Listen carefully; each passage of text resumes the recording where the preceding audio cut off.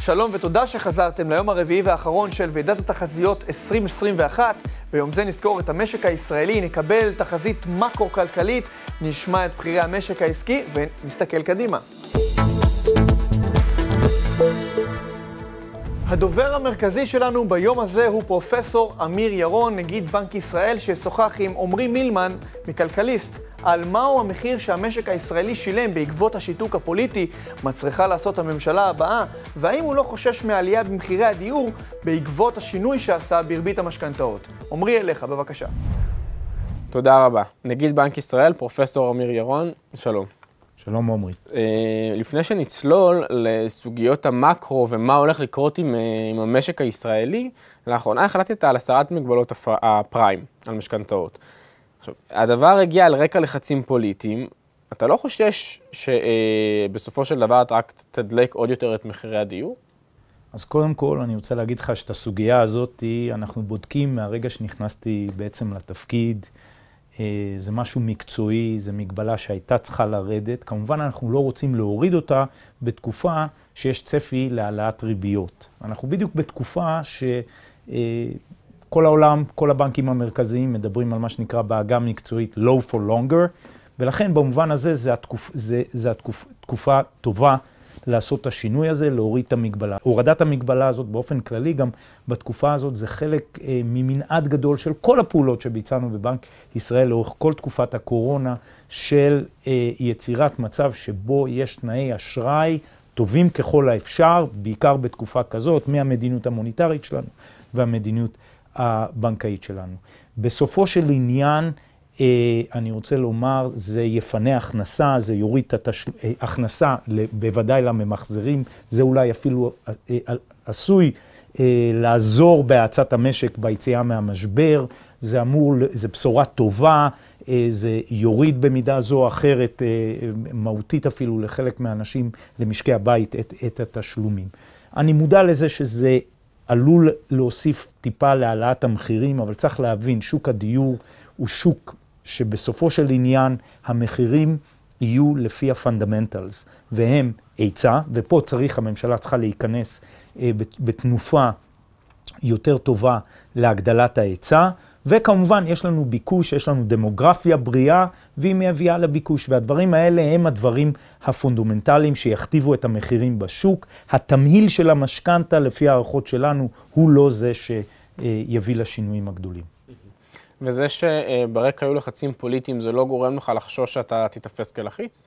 אה, אז אני חוזר, אנחנו עבדנו על זה כבר תקופה ארוכה, היו מספר חברי כנסת שגם היה להם שיח עם הפיקוח, זה טוב שיש שיח כזה, אבל בסופו של יום אה, זה משהו שמראש, אתה שואל, למה יש את המגבלה הזאת? כן, צריך לזכור שמבחינה יציבותית אין פה בעיה יציבותית. המגבלות האפקטיביות ביותר בתחום הדיור זה מה שנקרא PTI, ה-Payment to Income, שזה התשלום החודשי, זה המדד הכי טוב, וגם ה-Loan to Value. בשני הפרמטרים האלה אנחנו כבר במגבלות בישראל שהן יחסית מגבלות שמרניות. ולכן בראייה ההוליסטית ראינו רצון להוריד את המגבלה הזאתי, וזה פחות או יותר התזמון שמצאנו. נכון לעשות את זה. אתה מסכם עכשיו שנתיים לתפקיד. בשעה טובה. מה למדת, מה אתה יודע היום שלא ידעת כשנכנסת לתפקיד?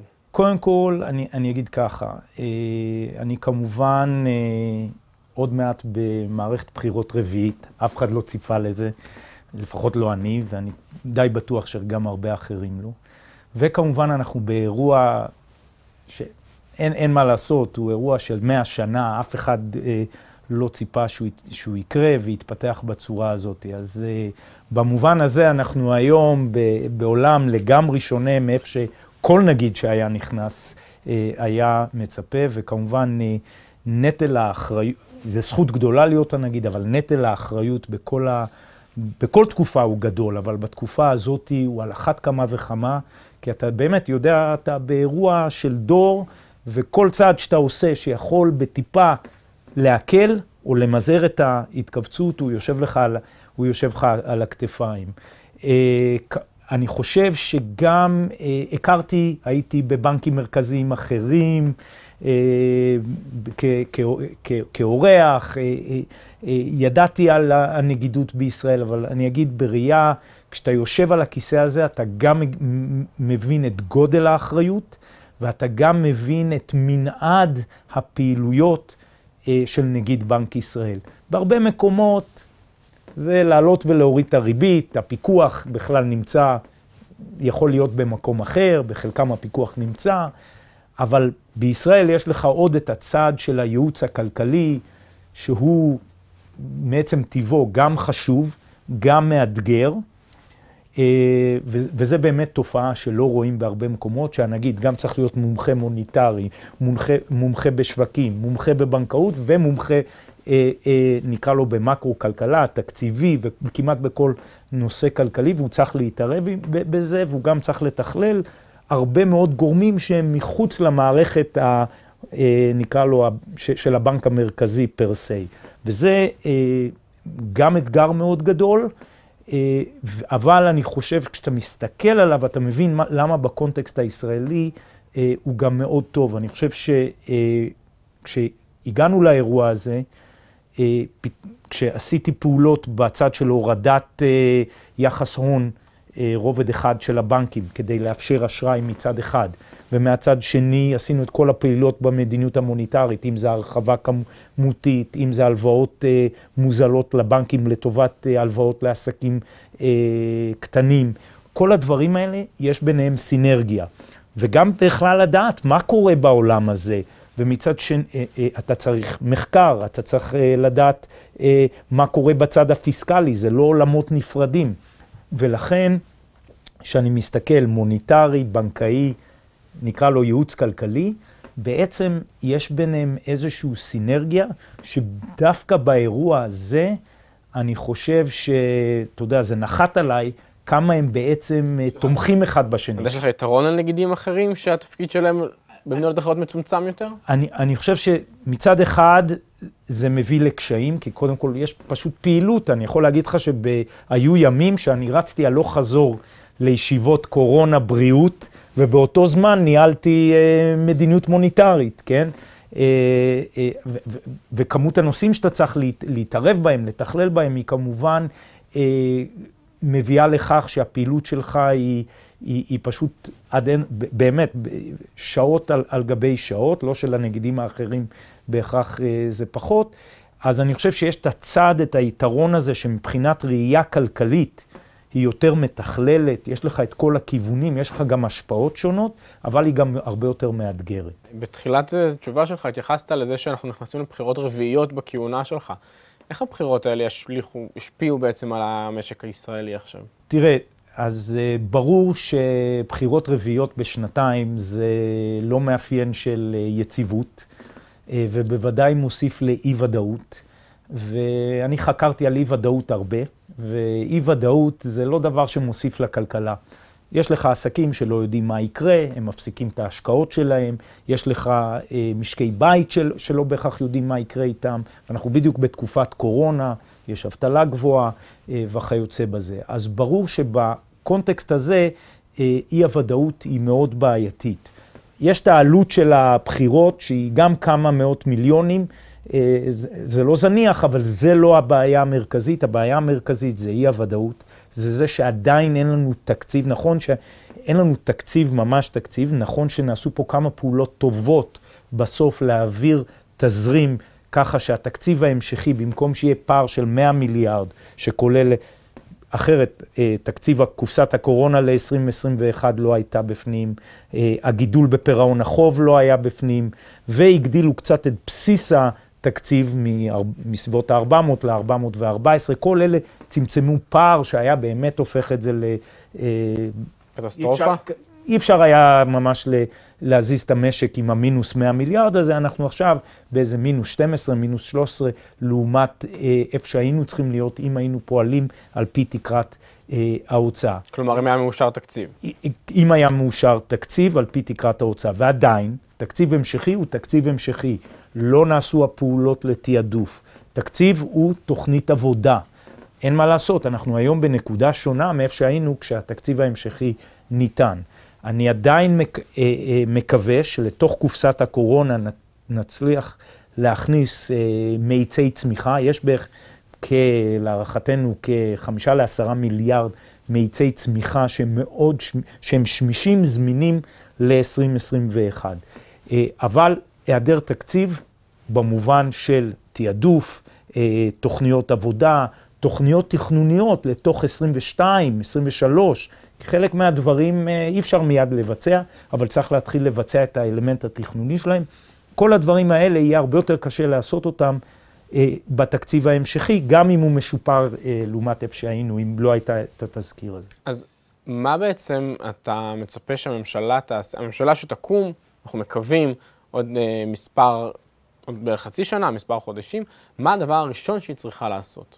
ברור לי שיהיו פה שני אלמנטים. עדיין יהיו מה שנקרא צלקות כלכליות, וצריך לטפל באלה שנפגעו. אם זה אה, עסקים קטנים, שלהם כנראה השרידות הכי נמוכה, ומצד שני, אה, אנחנו באבטלה שאנחנו רואים שהיא כל פעם עולה כשנכנסים לסגר, היא כל פעם יורדת, אבל היא יורדת, ל... אנחנו עכשיו ברמות של 14-15, במהלך הקיץ ראינו, למרות שהמשק זינק, היא התייצבה סביב ה-12, אלה מספרים מאוד גבוהים. ועכשיו אנחנו נכנסים לסגר שלישי, אנחנו נצטרך לראות איפה זה נעצר בפעם הבאה. ולכן, אה, ושם יש גם, האבטלה היא רוחבית והיא מופיעה בהמון מקומות.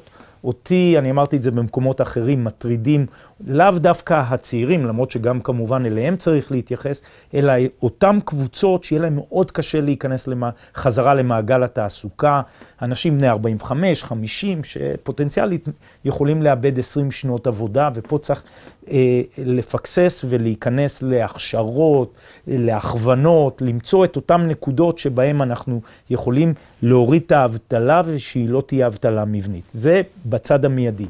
יחד עם זה, מיד צריך להיכנס לתקציב שמביא שיפור בתשתיות, שיפור בפריון, אה, מאמץ את כל אותם דברים שבעצם האירוע הזה כן יצר משהו. צריך לזכור שכנראה השיפורים הטכנולוגיים שהיו לוקחים באופן טבעי 5-10 שנים, באו אלינו במכה, כן?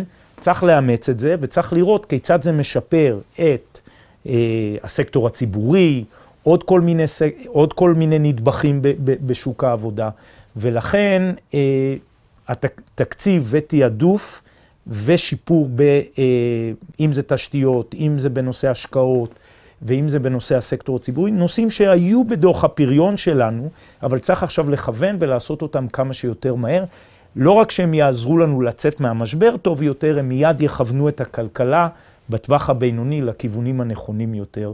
אה, כי, כי בסופו של עניין אה, אנחנו רואים שהנושאים של הגדלת הפריון הם היכולת שלנו להמשיך לצמוח בצורה נאה, כמו שהמשק עשה לפני כניסה לקורונה. אנחנו כבר עוד שלושה חודשים נסגור אה, שנה של קורונה. אפשר כבר, בנק ישראל יודע להגיד מה המחיר, מה הפסדנו בעקבות הקורונה? אז אתה יודע, יש את ה, קודם כל את המספרים של הפסד אה, תוצר. כן, אנחנו יכולים להגיד ש-2020 אנחנו מדברים על התכווצות של כרגע האומדנים הם בין מינוס שלוש וחצי, מינוס ארבע. הסגר אגב הנוכחי עכשיו השפיע... הסגר, הנוכ... הסגר הנוכחי כנראה כבר יותר ישפיע על 2021, ואנחנו באמת, אה, בהחלטת הריבית הבאה, אנחנו נבוא עם תחזית חדשה.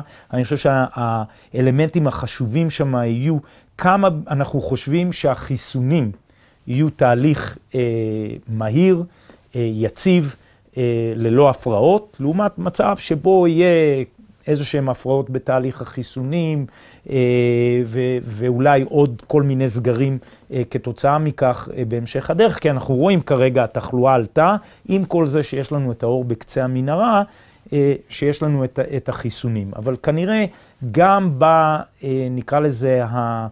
אה, בראייה היותר טובה, יש סבירות גבוהה שאנחנו נצטרך לחכות לפחות לאמצע הרבעון השני, אם לא לסוף הרבעון השני, כדי שנראה את עצמנו בעולם שבו יש אה, חיסון נדר, או רוב הציבור הוא עם חיסון, ואנחנו באמת יוצאים לפעילות אה, סופר אה, מואצת. לסיכום, בין הסגר השלישי לבין תחילת החיסונים, מצבנו טוב יותר או, או פחות טוב ממה שציפיתם אה, לפני מספר חודשים? אז אני, אני חושב שמצבנו הוא קצת טוב יותר, כי בכל זאת רואים איזשהו אה, אופק ואיזשהו אור ש, שברור אה, שיש, צריכה להיות תפוגה ל, ל, ל, לאירוע הזה אי שם.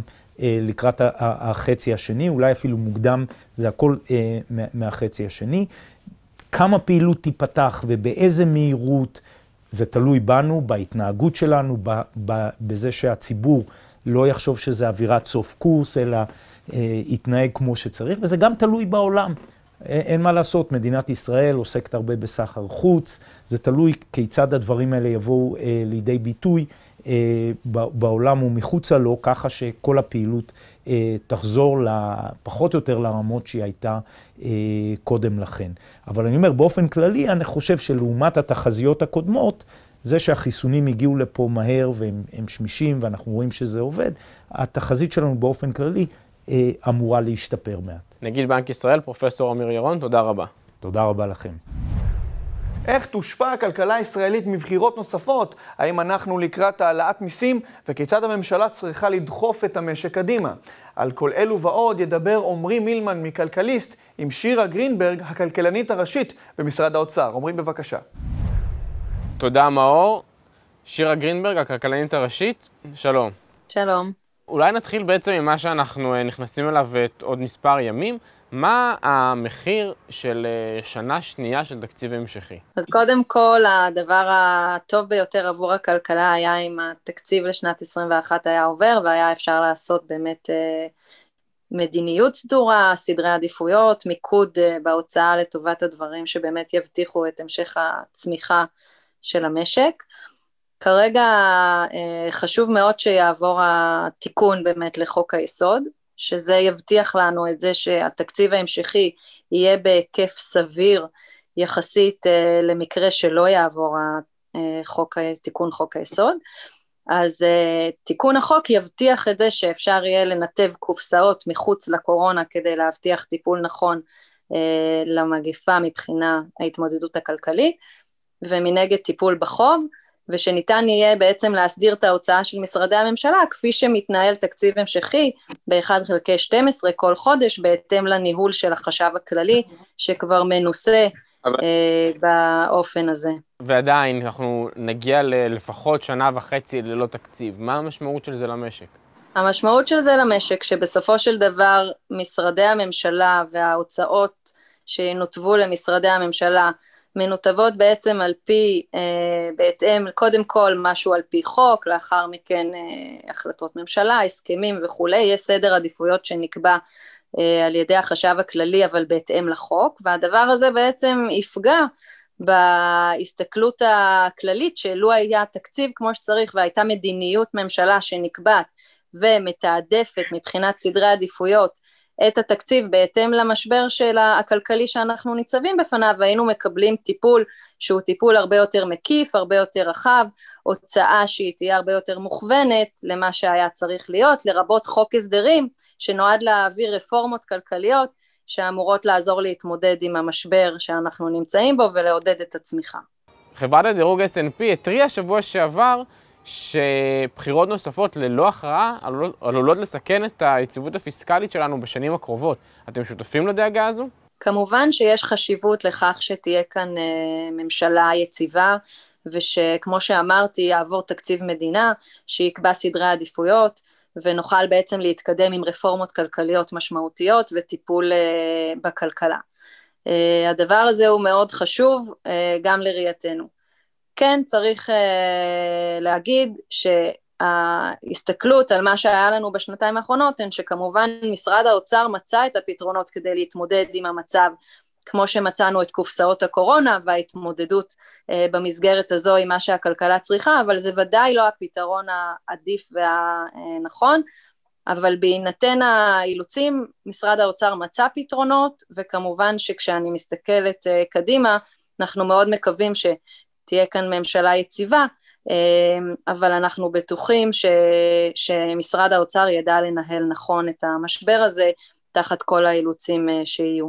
אז בעצם הגופים הבינלאומיים גם קרן המטבע, גם חברות הדירוג מדברות על, על העלאת מיסים או תכנון של העלאת מיסים כבר במהלך 2021. כלומר, בתקציב הבא שהממשלה תאשר. אתם שותפים לתפיסה הזאת? אתם חושבים שזה המהלך הנכון? תראה, מה שקרן המטבע ציינה זה כשהכלכלה מתייצבת, וכמובן כשמסתכלים בהקשר הזה גם על פער תוצר, שכרגע הוא מאוד שלילי, אז כשהם מסתכלים קדימה ופער התוצר כבר אינו שלילי והכלכלה במקום יציב, צריך ונכון לבצע את כל הצעדים הכלכליים של הריסון התקציבי כדי להבטיח בהקשר הזה את הריסון הפיסקלי. יש חשיבות לעשות את הצעדים האלה, אבל כמובן שאנחנו נצטרך להסתכל קדימה, להסתכל על פער התוצר ולראות מתי המועד הנכון לבצע את הצעדים.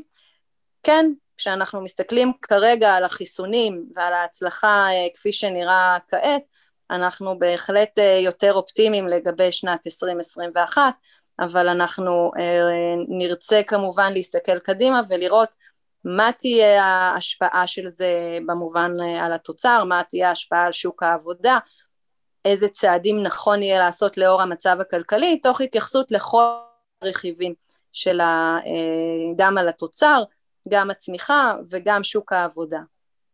אוקיי, okay, אז בעצם בתקווה שעוד פחות מחצי שנה תקום כאן ממשלה, מה הצעד הראשון שהיא צריכה לעשות? מה היא חייבת לעשות במעט זמן שיהיה לה? אז אני חושבת שזה מתחלק למספר דברים. דבר אחד זה, אנחנו נצטרך לראות קודם כל שיש השתלטות על המגפה, כרגע אנחנו בכיוון החיובי בעקבות החיסונים, וזה יהיה הדבר הראשון כדי לשחרר את הכלכלה מכל המגבלות והאיום על הסגרים וכולי. הדבר השני הוא העברת התקציב וחוק ההסדרים הנלווה לו. אנחנו חושבים שנכון לבצע רפורמות משמעותיות לתמרוץ הצמיחה של הכלכלה וקביעת סדרי עדיפויות ומיקוד בגלל הנושא של גם המרחב הפיסקלי שהוא הרבה יותר מוגבל ולכן חייבים יהיה לבצע את המיקוד. מבחינת לאן המיקוד הזה צריך ללכת, שוק העבודה הוא אחד הדברים המשמעותיים ביותר שהממשלה תצטרך להתייחס אליו, מצב שוק התעסוקה, אנחנו ניצבים בפני אבטלה מאוד גבוהה, הערכה שלנו שגם ייקח זמן אה, להתאוששות הזו ולכן זה נושא אחד חשוב מאוד שהממשלה תצטרך לטפל בו. נושאים נוספים זה כל מה שקשור בצמיחה, הנעת הכלכלה מבחינת ההשקעות, תשתיות, ביקושים, שיפור הגברת הפריון וכולי. יש דברים קונקרטיים אבל שאפשר כבר להגיד, חוק ספציפי שצריך להעביר אותו?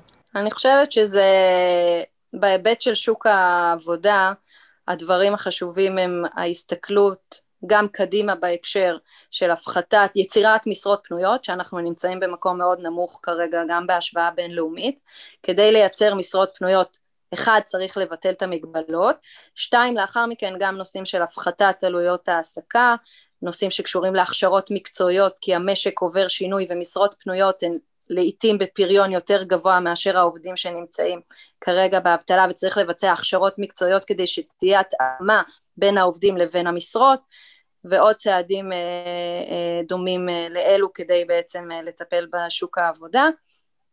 כנ"ל לגבי נושא של השקעות והשקעות בתשתיות, תקציב המדינה, גם בחירת פרויקטים שמייצרים תעסוקה הוא גם כן דבר חשוב.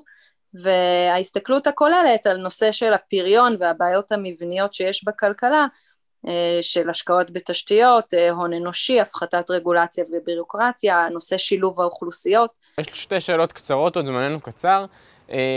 האתגרים שאת מציינת, משרד האוצר יכול לעמוד בהם ללא מנכ"ל קבוע, ללא ממונה על תקציבים קבוע.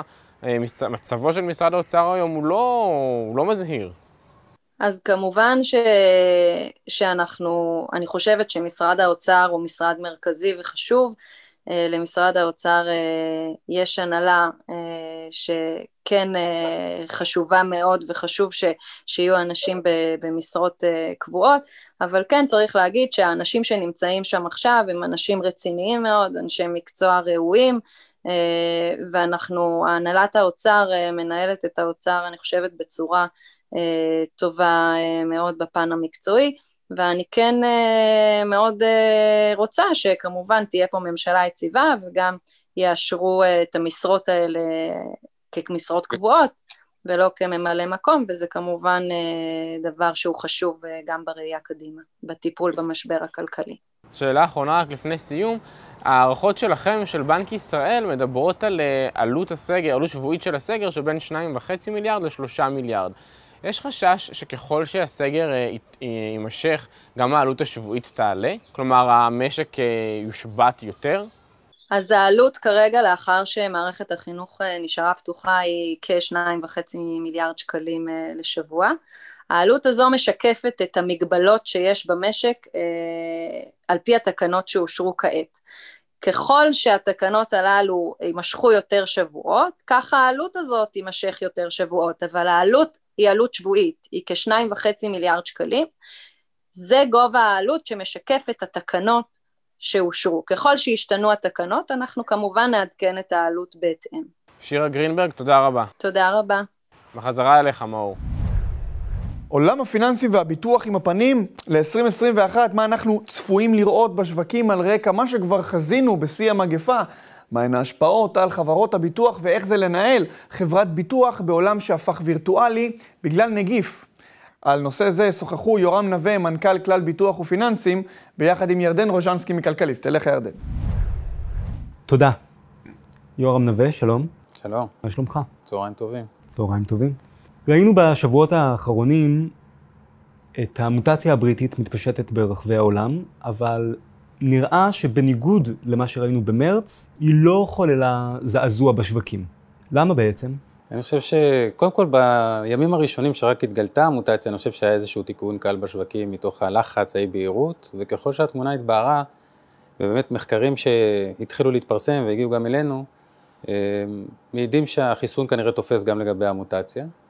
אנחנו כמובן לא נדע עד שהחיסונים יתפשטו ותהיה קצת יותר אה, הטמעה של החיסונים באוכלוסייה, ורק אז נדע באמת מה זה תופס ומה זה לא תופס, אבל כרגע לפחות השווקים אה, מגלמים את זה שהחיסון תופס גם את המוטציה, ולכן נראה שזה עדיין בגדר התרחיש הסביר והאופטימי שקיים כרגע בשווקים, ובאמת אה, לא נראה לי שצפויה חזרה בעקבות המוטציה הספציפית הזאתי על משבר כפי שהיה לנו בתחילת השנה. בתחילת השנה, כשהקורונה כן יצרה משבר גם בשווקים וגם בכלכלה הריאלית, ראינו שהמשבר הזה פגש את חברות הביטוח בעצם בהרבה מאוד נקודות ממשק. לנהל חברות עם כל כך הרבה כוח אדם מרחוק זה בוודאי לא דבר קל. הרכבת הרים שנוצרה בשוק ההון השפיעה בצורה משמעותית על התוצאות הכספיות. איך בעצם כלל ביטוח התמודדה עם המשבר ואיך היא נערכת ליום ש... לתהליך היציאה ממנו? קודם כל באמת אני חושב שזה היה, אה, לא סתם אומרים שזה משבר שלא נראה בעבר, כי הוא באמת אה, כמעט אה, נגע בכל הסיכונים שיש בספר, בטקסטבוק. החל מבאמת הסיכון הבריאותי, לאחר מכן הסיכון בשווקים, התממשות המשבר בשווקים, הסיכון הריאלי, הסיכון הבריאותי האישי וההתנהלות של כוח האדם. בכל אחד מההיבטים האלה נדרשנו מהר מאוד להתאים את עצמנו ולהראות גמישות בהיערכות ובתגובה. באופן טבעי אי אפשר להיערך לדברים האלה אם אתה מנסה להיערך אליהם בדקה ה-90, והיתרון של כלל כגוף אה, מוסדי מוביל, שבעצם אנחנו נערכים לזה כבר שנים, אה, בתשתיות שלנו וביכולות שלנו לתת מענה בזמן אמת. הדבר הכי משמעותי שבאמת אה, יצא לנו זה שכבר כשנתיים לפני האירוע הזה אנחנו הנהגנו בחברה יום בשבוע עבודה מהבית בכל עולמות התפעול, כך שגם התשתית המיכונית שלנו הייתה ערוכה לזה, גם תהליכי העבודה שלנו וכוח האדם אה, כבר היו מורגלים לזה, ולכן באמת אה, הדבר הזה שהיה אתגר גדול בהרבה חברות עבר אצלנו בצורה מאוד פשוטה. האתגר השני הוא באמת לנהל אה, את תשואות העמיתים ואת תשואות הנוסרו שלנו בתוך המשבר, וכאן בהחלט הייתה רגבת הרים. היו דברים מיוחדים כמו אירועי נזילות בעולם המט"חי שהיו מיוחדים לאירוע הזה, אבל באמת ההתערבות של הרגולטורים בזמן אמת והבנק המרכזי בזמן אמת פתרה את הדברים. ובהחלט אה, גם מהאירועים האלה למדנו והשתפרנו. אה, אני חייב לומר שצלחנו אותם בצורה טובה מאוד, ואפילו ניצלנו קצת הזדמנויות. ב-2021 אתה עדיין חושב שאנחנו נחיה בצל הקורונה כאירוע בריאותי וכלכלי? אני חושב שקודם כל ברור שהוא עוד ילווה אותנו, ויש אה, באופן טבעי דברים שילוו אותנו עוד הרבה שנים, ודברים שקצת פחות. אני תמיד נותן כדוגמה, אני חושב את מלחמת המפרץ בתור ילד, נער, חווינו אותם בתוך הממ"דים עם מסכות אב"ח, וכולנו חשבנו שעוד שנים ארוכות יהיה לנו כל שנה נחליף את המסכות אב"ח לילדים, ולאחר מכן בסוף נשארנו עם ממ"דים לטווח הארוך, אבל בסוף המסכות היום הם איפשהו בבוידם. כך שבאופן טבעי דברים, חלקם נשארים איתנו לטווח ארוך וחלקם מתפוגגים, וזו שאלה טובה מה יקרה. בעיקר אני רואה את המשבר הזה כקטליזטור של תהליכים שכבר קרו במשק, רואים את הטכנולוגיה שמרימה ראש אה, וממשיכה לצעוד קדימה ולהוביל את המשק, רואים את ההיערכות אה, אה, הדיגיטלית של האוכלוסייה, ההיענות של האוכלוסייה, כולל האוכלוסייה המבוגרת, לצרוך דברים גם קונסרבטיביים בצורה דיגיטלית, כך שאלו בהחלט קטליזטורים. אה, ומבחינת השווקים, אני חושב שהשווקים בהחלט כרגע מגלמים תרחיש אופטימי של חזרה לשגרה במהלך 2021, כך שאני חושב שזה ילווה אותנו, אבל ב, על פני זמן בצורה פוחתת. כשהסתכלנו על המסכים בבורסות השנה, היה אפשר לראות שסקטור הביטוח לכל אורכו בעצם חטף מכה אולי גדולה יותר מרוב הסקטורים האחרים, למעט אה, נדל"ן ו- ואנרגיה. אתה חושב שיש לזה הסבר הגיוני? אני חושב שגם הבנקים, אגב, אה, חטפו מכה לא פשוטה. אה, אני חושב שבאופן כללי באמת הייתה פה אי ודאות גדולה בהתחלת המשבר. חברות הביטוח היסטורית, ובאמת זה הוכיח את עצמו, נתפסות כמעין אופציה לשווקים. ההשפעה של שוק ההון על התוצאות של חברות הביטוח היא מאוד משמעותית.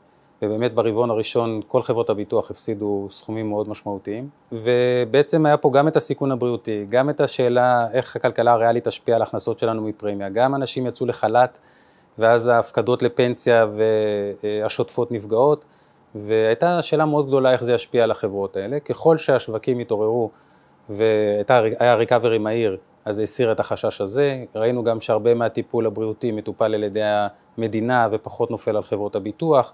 גם בהיבט הריאלי, אה, בסוף אנשים קונים ביטוח, דווקא יותר עולה ביטוח בריאות וביטוח חיים, כי הם רואים שהסיכונים האלה עלולים להתממש, אנשים חזרו הביתה לדירה, אז פתאום אה, משקיעים בביטוח לדירה, כך שראינו תופעות שמאפיינות את תחום הביטוח, מה שלאו דווקא קרה בתחום של הבנקים. בבנקים, אגב, אני חושב שהם, אה, קודם כל הם בצד שנותן אשראי, ולא מפקידים אצלו כסף, אז זה הצד השני. גם הרגישות שלהם לשווקים קצת נמוכה יותר משל המערכת הביטוחית. אה, ולכן הריקאברי שלהם עדיין לא, לא התממש בצורה מלאה. אני אגב מאמין... כי הריקאברי שלכם בעצם ראינו אותו גם בתוצאות הכספיות ברבעונים המאוחרים יותר וגם במחירי המניות.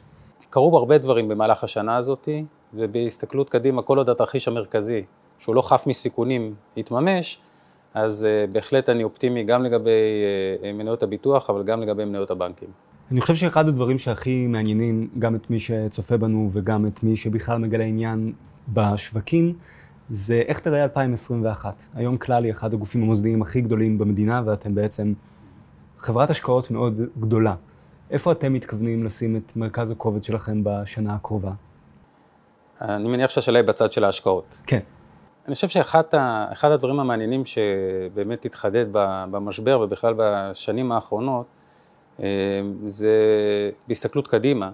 אנחנו רואים שהשווקים נמצאים ברמה מאוד גבוהה באופן יחסי. כמובן החזרה מהריקאברי היא סלקטיבית, אבל עדיין אנחנו חוזרים לרמות מאוד גבוהות של אה, שווקים מהצד האחד. מהצד השני, מה שמעניין לומר, אה, ואני חושב שזה, אולי זאת הכותרת של מה שאני אומר בהקשר הזה, שאני חושב שהראלי של השווקים בהקשר לאג"ח הממשלתי עומד להסתיים, או למעשה הסתיים. אנחנו בתקופה של העשור האחרון, ובעיקר בחמש שנים האחרונות, שאנחנו רואים את הירידה בתשואות של האג"חים הממשלתיות, גם בטווח הקצר וגם בטווח הארוך. אנחנו רואים את האג"ח הממשלתי בארצות הברית בתשואה ריאלית שלילית, ובהחלט האטרקטיביות של האג"ח הממשלתי במונחים של תשואה וסיכון היא פחות אטרקטיבית. ובהינתן גוף גדול שרוצה להשקיע לאורך זמן, המשמעות היא שהאטרקטיביות של כל עולם הפיקסט אינקאם אה, אה, היא פחות אטרקטיבית, ואתה רואה הרבה גופים מחפשים אה, כיצד הם ישיגו את התשואה לעמיתים שלהם, ורוצים לממן את הפנסיה של כולנו, ובאמת ההסתכלות היא יותר לאקוויטי, ובתוך האקוויטי לפעילות שהיא קצת לא שכירה, למתן קצת את התנודתיות הזאת שחווינו, ורואים השקעות בתשתית, באנרגיה ירוקה, גם ה-ESG רואה עדנה עכשיו. בהחלט כל ההשקעות האלה בעולם שהוא עתיר יותר סיכונים, קצת פחות תנודתי, עם השקעה ארוכת טווח, אני חושב שזה יוביל את השווקים בשנים הקרובות, וגם כלל תהיה שמה. אבל אני חושב שבאמת פחות אה, יעניין אותנו להשקיע, פחות אטרקטיבי לנו להשקיע באג"ח ממשלתי, כמובן אה, בסיס הזדמנותי וקצת השקעה כנגד התחייבויות, בוודאי אנחנו נהיה שם, אבל בהחלט זה לא מה שנראה, זה, מה שנראה קדימה זה לא מה שראינו בחמש שנים האחרונות. אתה חושב שהסקטורים המסורתיים יותר, גם הם יעלו על פסים של צמיחה, או שאנחנו חוזים כאן בהתפתחות של, של פיצול בשווקים? אני חושב שפיצול בשווקים לא יכול להחזיק בצורה קיצונית. אה, כך שבסופו של דבר, ככל שהתרחיש המרכזי של אה, החיסון מפני הקורונה והמשק הריאלי חוזר לפעולה, אני חושב שגם אזורים שהיו חבוטים יותר בתקופת המשבר ועוד לא עשו ריקאברי, צפויים לעשות ריקאברי מסוים. בשיא המשבר אנחנו למשל קיבלנו החלטה להשקיע דווקא במקומות האלה שנראו לנו חבוטים מדי, אם זה עולם התיירות, אם זה עולם התעופה. אה, כבר היינו מושקעים בענפים האלה כבר קודם, אבל בהחלט ניצלנו את ההזדמנות. ואנחנו מעריכים ש, שהדברים האלה עוד, אה, עוד צפויים לריקאברי מסוים, אה, ודווקא שם לפעמים יש את ההזדמנות. גם הנדלן המניב, שכרגע יש עליו עננה מאוד גדולה, אני חושב שבחלק מהמקומות ניתן למצוא מקומות עם תשואות טובות, אבל בהחלט כולנו רואים בו אירוע שעדיין לא ברור איך אנחנו נצא ממנו בקצה המשבר הזה, ברור שלא מה שהיה הוא שיהיה. אז בהחלט אני חושב שהניתוק הזה, לא יכול להיות אה, אה, לאורך זמן, ובהחלט ככל שתרחיש המרכזי תומך בדברים, אז גם, ה, גם התחומים האחרים יעשו ריקאברי מסוים. לצד זה אנחנו בהחלט חושבים שיש פה, כמו שאמרנו, את עולם הטכנולוגיה, שבעצם האיץ תהליכים שכבר קרו, ואנחנו גם בעולם הטכנולוגיה אה, אה, הגדלנו את ההשקעה שלנו לאורך המשבר, אה, ואנחנו צופים גם קדימה שהוא ימשיך להיות הקטר של המשק והתעשייה העולמית, ובהחלט אנחנו מאמינים בתחום הטכנולוגיה. יש סקטורים ש... לא תשקיע בהם, או שיצאת מהם ולא תחזור אליהם עכשיו? אני חושב ששוב, אמרתי בעיקר, אני חושב שהחיפוש יהיה למקומות שמפצים על הסיכון בצורה אטרקטיבית. העולם, ש... האזור שבו אני חושב שאנחנו לא נהיה באותה עוצמה כמו בעבר, זה באג"ח הממשלתי. ואם אפשר שאלה נוספת בתחום ה... ליד הנדל"ן המניב, אנחנו רואים עכשיו לא מעט שיח בנוגע לחזרה למשרדים. כן. אתה אתה רואה מצב שבו אתם מצמצמים שטחי משרדים באיזשהו אופן? אז קודם כל אנחנו בהחלט אה, נמצאים בתהליך. אה, אנחנו בעצם, אה, קרו שני דברים במהלך השנה הזאת. אחד, כפי שאמרנו, אה, קודם כל התחלנו כבר את התהליך של יום עבודה מהבית גם בעבר. אנחנו ממשיכים אותו ומעצימים אותו במקומות שאנחנו רואים שאנחנו יודעים לנהל את הפריון מהבית. לא בכל מקום זה עובד, אבל מקום שזה עובד, וזה בעיקר בעולמות התפעול, אנחנו מגיעים גם ליומיים עבודה מהבית. אבל זה לא ביחס לכל החברה, זה ביחס לבערך, הפוטנציאל הוא בערך רבע מהחברה.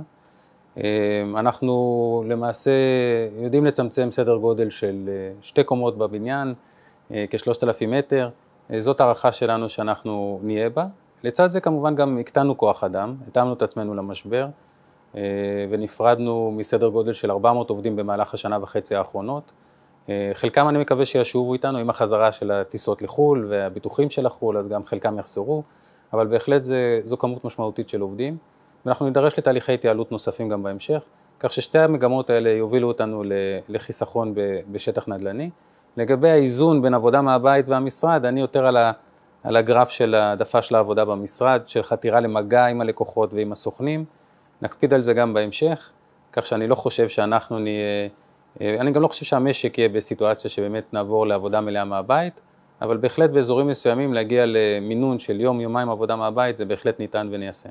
ואם אפשר שאלה בגוון אישי אה, יותר לסיום, השנה הזאת הייתה סוערת בכלל ביטוח לא רק בגלל מה שקרה בשוק ההון ו- ומה שהתחולל בכלכלה הריאלית בגלל הנגיף, הייתה לכם גם שנה סוערת בתוך הבית. נכון. כשאתה מסתכל על 2021, אתה צופה שהסערה תחלוף? אני חושב שבאמת, אה, גם בהקשר של מה שקרה בכלל, אה, נקרא לזה בקומת ההנהלה של כלל, אה, הדברים בעצם הם תהליך ולא אירוע בודד.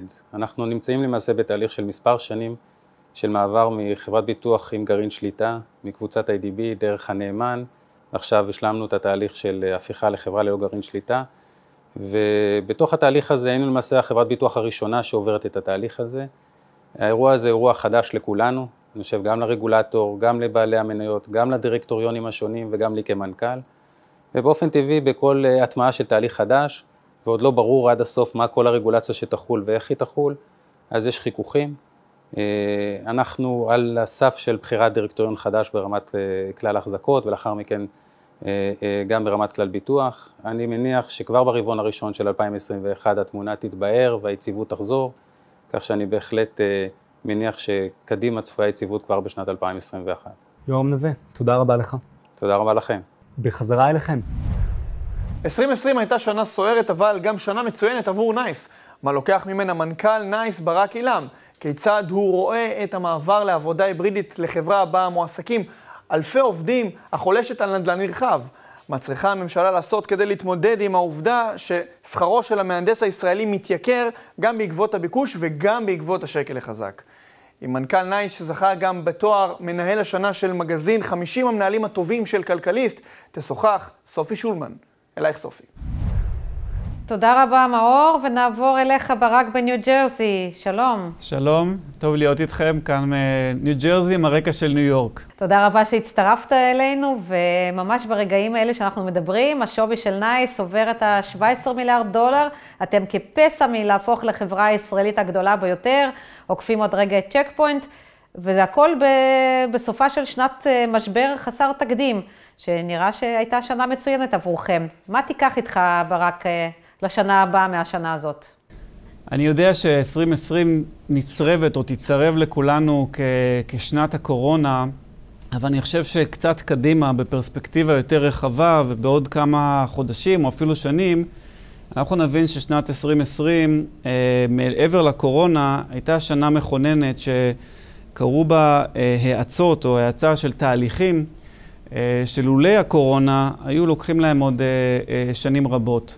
בנייס אנחנו פועלים תמיד עם תוכנית אסטרטגית קדימה, בראייה של חמש שנים קדימה, וכבר ב-2015 שמנו תוכנית שקראנו לה נייס 2020, שזיהתה מספר תחומים, את המעבר המואץ לענן, את הטרנספורמציה הדיגיטלית ואת ההשקעות המשמעותיות בתחום האנליטיקה ובינה מלאכותית. ואנחנו באמת רואים שבשנת 2020 כל האזורים האלה שבהם אנחנו השקענו כבר בשנים האחרונות, עברו האצה משמעותית בגלל האירועים שקרו בגלל הקורונה, גם בטווח הקצר, מתוך ההבנה שהקורונה מחייבת אותנו לעבור לעבוד מהבית ועבודה וירטואלית וכולי, וזה יצר האצה בצורך בתחומים האלה שאני מדבר עליהם, אבל גם אחרי שהקורונה תיעלם מהכותרות, התהליכים האלה ימשיכו מהר מאוד uh, קדימה. אז ברק, עשיתם, uh, קפיצת, uh, עשיתם קפיצת מדרגה של ממש, אבל עכשיו אתם במגרש של הגדולים. לא מלחיצה אתכם התחרות מול uh, ענקיות כמו סיילספורס, אמזון? קודם כל, כשאתה uh, שחקן משמעותי במגרש שבו משחקים גם ענקי הטכנולוגיות, כנראה שאתה במשחק הנכון וכנראה שאתה uh, עושה את הדברים הנכונים. אנחנו עם חברה של 1.7 מיליארד דולר בשווקים צומחים, חברה בצמיחה מואצת. ואנחנו כמובן מרוצים מהדבר הזה. אני מאמין שכל השנים האחרונות מבחינתנו, אנחנו מסתכלים על זה רק בתור החימום למה שמגיע כרגע. יש נייס היום מספר נכסים מאוד משמעותיים, בסיס לקוחות נאמן, טכנולוגיות חדשניות וכמובן כוח אדם מאוד מאוד איכותי. אנחנו גם מייצרים כ-400 מיליון דולר של מזומנים בשנה. ויש לנו 1.5 מיליארד דולר בקופה, מה שאפשר לנו כנראה להמשיך לעשות רכישות מאוד משמעותיות. כל הדברים האלה ביחד מכניסים אותנו ל-2021, ולא רק ל-2021, גם בהסתכלות רחבה קדימה, בצורה מאוד אופטימית לגבי העתיד ולגבי השווקים שבהם אנחנו פועלים. אתם צומחים וגם במספר עובדים כמובן. איך אתם רואים את עתיד הנדל"ן שלכם? סך הכל אתם חולשים על לא מעט, עם אלפי עובדים.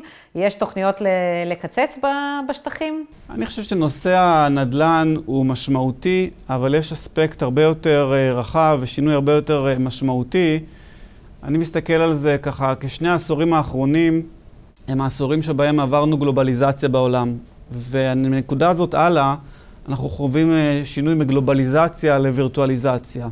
יש לזה השלכות, ויהיו לזה השלכות מאוד משמעותיות מעבר לנדל"ן, על הצורה שבה אנחנו חיים, המרחב האורבני, הקלות שבה אפשר לגייס עובדים ברחבי העולם, והמון טכנולוגיות שהתווספו לפשט ולשפר את החוויה הווירטואלית בכל תחומי החיים. לגבי נדל"ן משרדי, אנחנו עובדים מהבית, 7,000 עובדים עובדים מהבית מאז מרץ, וזה עובד טוב, אבל אני חושב שצריך לזכור ככה שלושה דברים שמעסיקים אותנו תוך כדי. אחד, אני עדיין לא מוצא תחליף וירטואלי אה, לכל הנושא של קריאטיביטי ו-ideation. הנושא השני שחשוב מאוד וקרוב לליבי זה כל נושא ה-culture אה, ואיך משמרים ספיריט של חברה גם בעולם וירטואלי. ואני חושב שצריך גם לזכור שכל העובדים שעברו לעבוד מהבית הם עובדים שלפני זה עבדו במשרדים ומכירים אחד את השני. יהיה מעניין לראות בעוד שנה-שנתיים מה קורה כאשר אה, אחוז נכבד מהעובדים יהיו עובדים שגויסו לחלוטין וירטואלית. בנושא הנדל"ן ספציפית כרגע, אני חושב שעוד לא נכון לקחת החלטות ולצאת בהצהרות, ולכן אנחנו ככה עצרנו את החלטות הנדל"ן שלנו. אני מאמין שגם אנחנו וגם הרבה חברות אחרות אה, נצטרך בעתיד אה, מרחב משרדי שונה, אולי קטן יותר, אולי ב setup שונה, שיתאים לעבודה בסגנון אחר. יופי, ומה לגבי אה, גיוס עובדים? אתם אה, מעסיקים כבר היום יותר מאלף עובדים בישראל, אבל העובד המהנדס הישראלי מתייקר, השקל החזק אה, מוריד את האטרקטיביות של ישראל כמרכז פיתוח? תראי, במונחים גלובליים, ישראל, או המהנדס הישראלי, הוא באמת אחד מהעיקרים ביותר בעולם היום, בעיקר עם שער הדולר, כמו שציינת. אה, וזה באמת אה, קשה ומטריד, הם גם הטובים ביותר שיש בעולם, אבל אה, אני לא חושב שזה הנושא הכי מהותי. הנושא שאותי מטריד הוא באופן כללי עתיד ההייטק בישראל. אנחנו היום, עשרה אחוז מהמועסקים במשק הישראלי הם בהייטק, זה מנוע הצמיחה או הקטר הכי משמעותי של הכלכלה הישראלית. אבל באותה נשימה, צריך לשאול את עצמנו מה צריך לקרות בשביל שנגיע ל-20 ופה אני מזהה בעיה, והנושא דורש טיפול uh, מיידי. קודם כל, קודם כל, כשמסתכלים על בוגרי אה, אה, מסיימי תיכון, חמש יחידות, המספר הזה תקוע מספר שנים על 15 אחוז אה, של מסיימי חמש יחידות מתמטיקה, וזה מייצר איזשהו חסם שצריך לטפל בו. והנושא השני, יש בארץ אה, שתיים וחצי, אני קורא לזה אוכלוסיות, שלא שותפות אה, היום בתוך ההייטק, וצריך לשנות את זה. אני מדבר על הערבים, החרדים, ובצורה חלקית גם נשים. ברק, אז אם אני ממשיכה באמת את הנקודה הזאת, אתה לא מעט אה, פעמים מתבטא ברשתות החברתיות, מעביר ביקורת על ההתנהלות בישראל, גם במגזר החרדי. אם אתה מסתכל על מדינת ישראל אה, בנקודת מבט של מנהל, מה צריך להשתנות פה בעשור הקרוב? תראי, 99% מההכנסות של נייס הם מחוץ לישראל.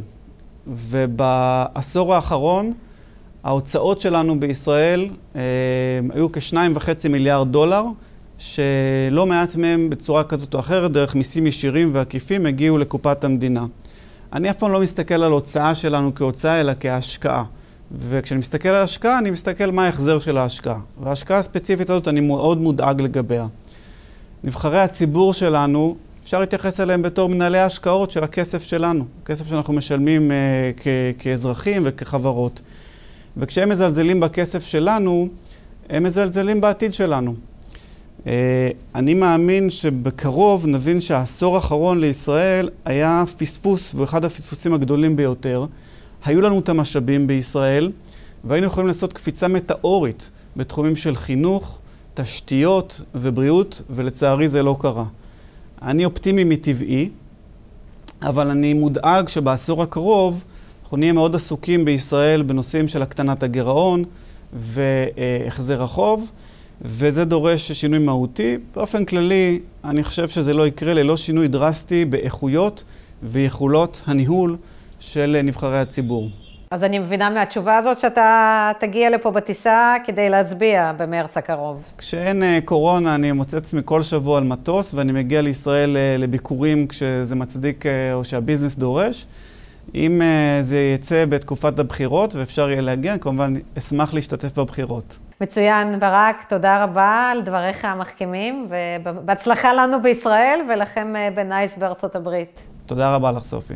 אליך מאור בחזרה לאולפן.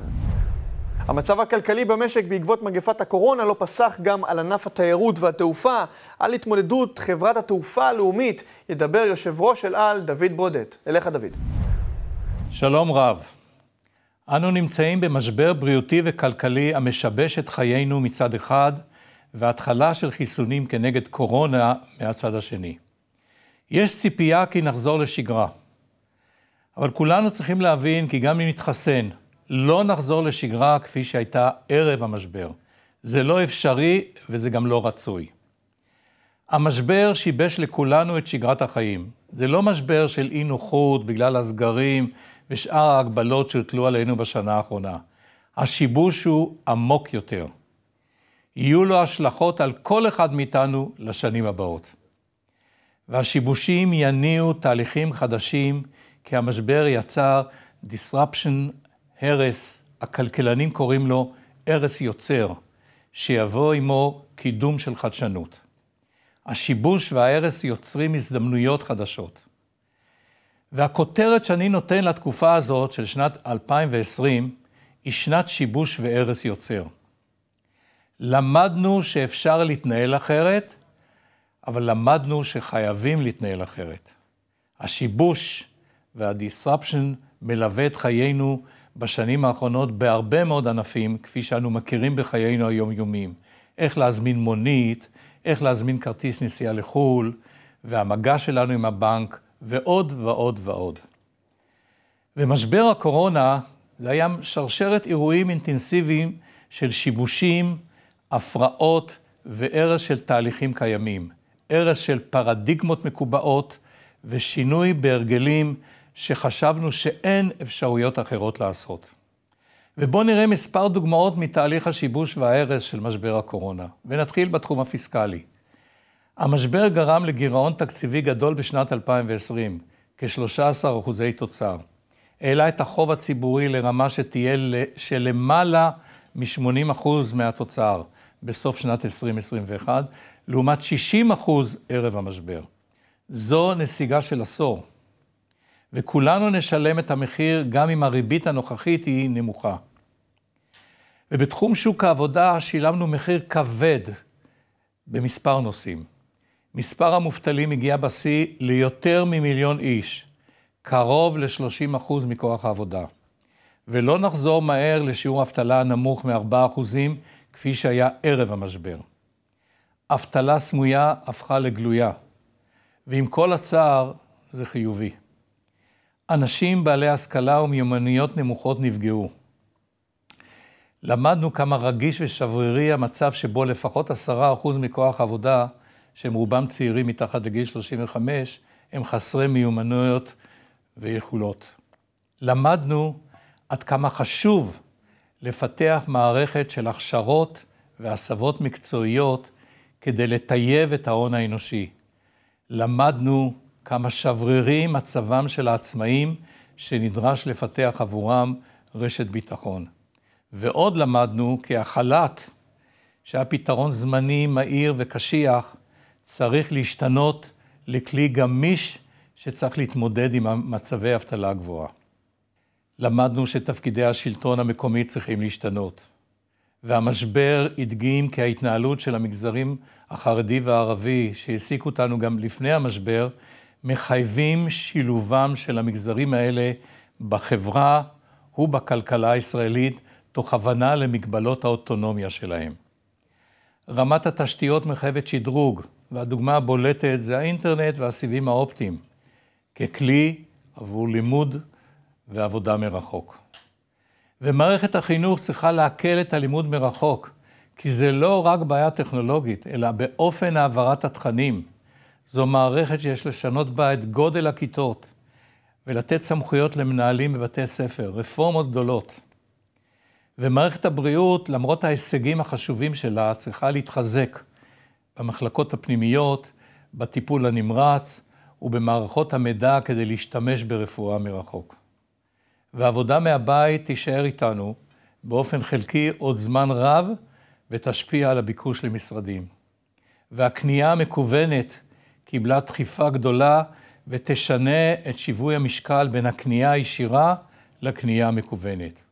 והגלובליזציה ושרשרת האספקה הגלובלית השתנו ממש לנגד עינינו, ובעיקר תחת המשמעות של המלחמה הקרה החדשה בין ארצות הברית וסין, וכך בעוד נושאים ותחומים רבים. ועכשיו אעבור ברשותכם לתפקידי הנוכחי כיושב ראש אל על. ראשית, המשבר השליך גם עליי. כשסיימתי את תפקידי כיושב ראש בנק לאומי לפני יותר משנה, לא חשבתי לשוב ולעמוד בראש דירקטוריון של חברה ציבורית. חשבתי לעצמי שאת הפרק הזה בחיי כבר חתמתי. ולמרות כל הניסיונות והמשברים הלאומיים והפיננסיים בהם טיפלתי בחיי, והיו רבים, חברת אל על משכה אותי וריתקה אותי. ואני שמח שניתנה לי האפשרות להוביל את אחד מסמליה הלאומיים של מדינת ישראל. ואני בטוח שכפי שניהלתי לאורך כל חיי אירועים ומשברים מורכבים, גם אל על תשוב להוביל ולהיות חברה חזקה ובריאה. כמו כל החברות התעופה בעולם, משבר הקורונה פגע באל על וקשה. אבל משבר הוא כאמור גם הזדמנות. מבחינת אל על, החיסונים הם בשורה.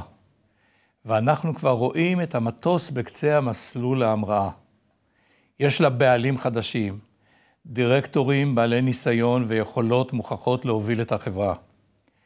דירקטוריון שעובד לטובת החברה, כי אל על תנוהל ותעבוד רק על פי שיקולים מקצועיים. בחרנו במנכ"ל מנוסה ובעל יכולות שיוביל את החברה להמראה מחדש. לאל על יש את הסבלנות להגיע להישגים בטווח הארוך, ואל על תצא מהמשבר כחברה רזה וגמישה יותר. יש לנו הסכמי עבודה חתומים מול העובדים, ונקפיד על קיום הסכמי ההתייעלות, ונעמוד בהתחייבויות שלנו, ונעשה זאת ברגישות כלפי העובדים שאל על הייתה עבורם בית. אל על הייתה ועודנה חברת התעופה הלאומית של ישראל. לאל על לא יהיו ניסים, אבל יהיו תוצאות. הקורונה יצרה הידברות חדשה עם המערכת הממשלתית, ובזכות שיתוף הפעולה והאחריות המשותפת נוכל להצעיד את החברה לעתיד בטוח. בעל השליטה באל על, אלי רוזנברג, התחייב להגדיל את השקעתו בחברה במקביל להשלמת מחויבותה של המדינה כלפי אל על. הופתעתי מאוד לטובה מרמת האמון של הלקוחות שלנו בחברה. שימו לב לנתון הבא. כמעט 50 אחוז מהלקוחות שהחזיקו בכרטיסי טיסה הביעו אמון בחברה ובחרו לקבל שוברים לטיסות עתידיות. והסכמי השלום שישראל חתמה עם איחוד האמירויות, בחריין, סודאן ומרוקו, יאפשרו לאל על לפתח יעדים חדשים ולשנות את לוח הטיסות שלנו לטובת כלל הלקוחות והציבור הישראלי. האפשרות לטוס מעל סעודיה תאפשר לנו להפוך את נתב"ג לשער המערבי של המזרח הרחוק, ומדובר באפשרויות לקצר את שעות הטיסה לכל יעד במזרח הרחוק, וכמובן להוזיל את העלויות.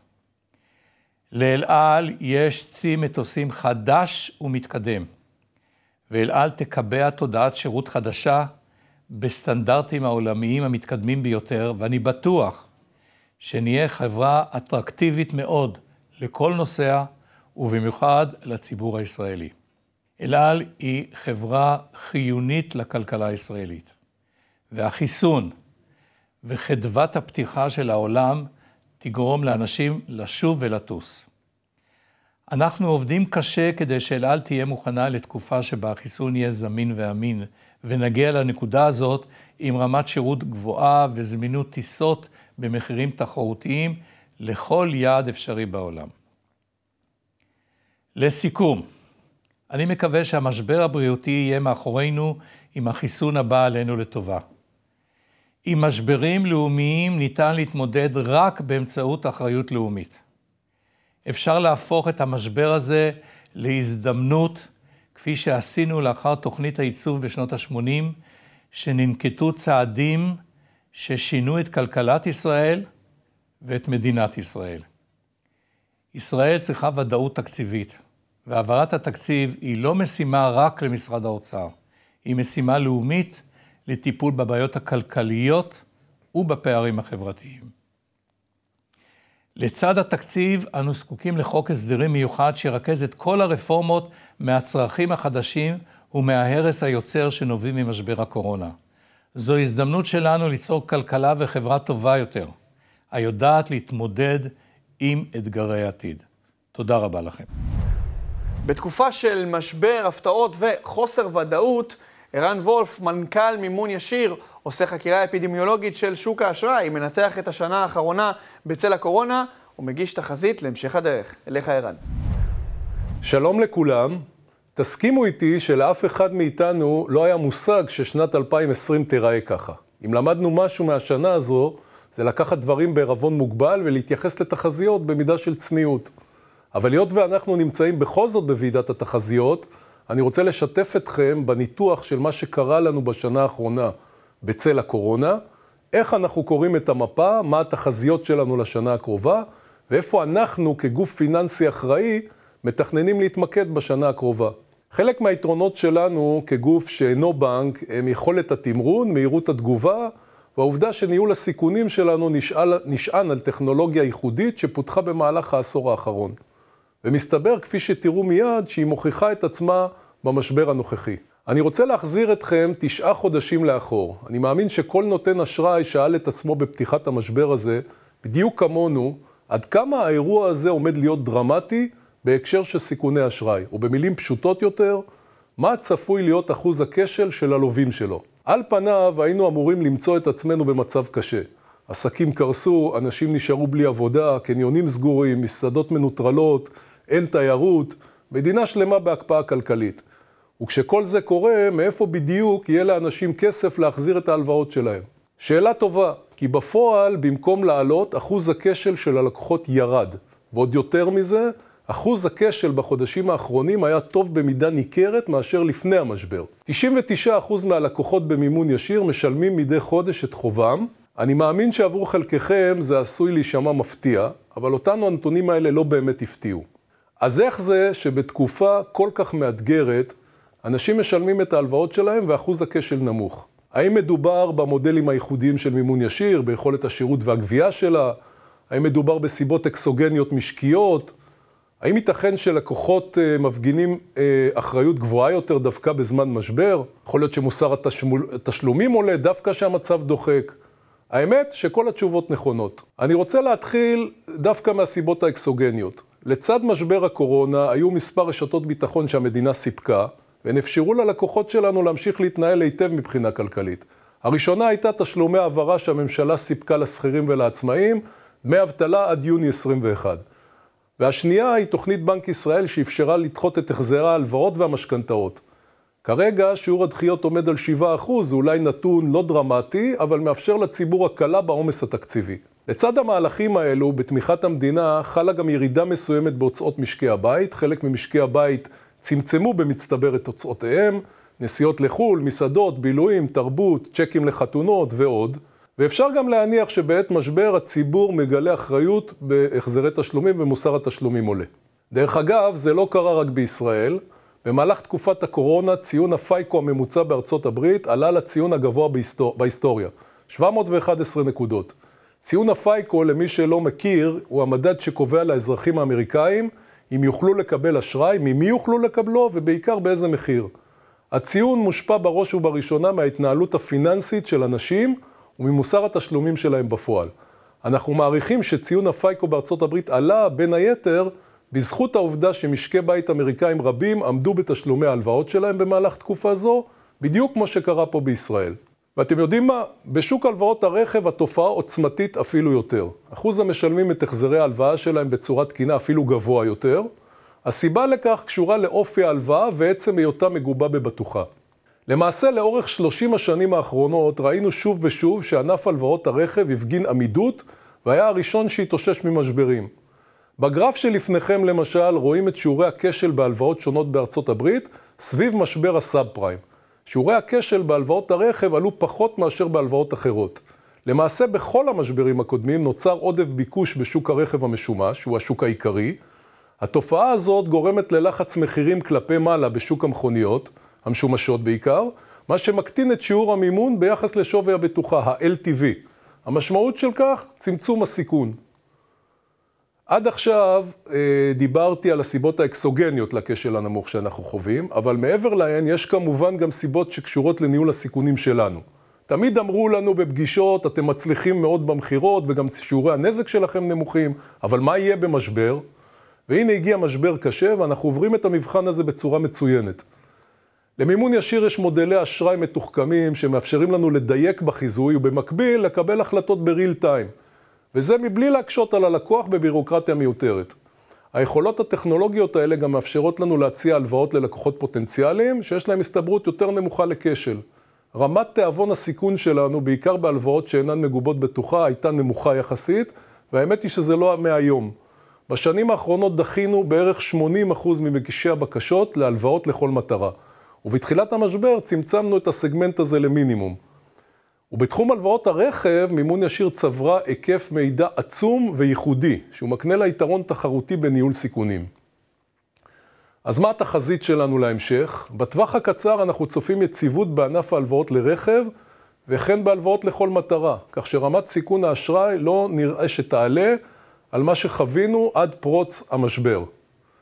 לעומת זאת, בטווח הבינוני, בענף ההלוואות לכל מטרה, הלוואות שאינן מגובות בטוחה, התחזית פחות ברורה. הממשלה, סביר להניח שתפסיק מתישהו במהלך 2021 את תשלום דמי האבטלה לתקופה ארוכה, והבנקים עשויים לצמצם את האפשרות לדחות משכנתאות. ולכן אנחנו מגלים זהירות בתחום הזה. יחד עם זאת, לגבי הטווח הארוך, יש כאן אה, שלושה Game Changer ים מרכזיים שעשויים להשפיע על הענף.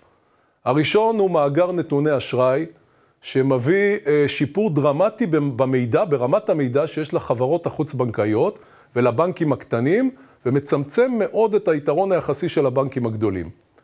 ה Game Changer השני לשינוי הוא מהפכת הדאטה, שעומדת לשנות את צורת ניהול הסיכונים מקצה לקצה.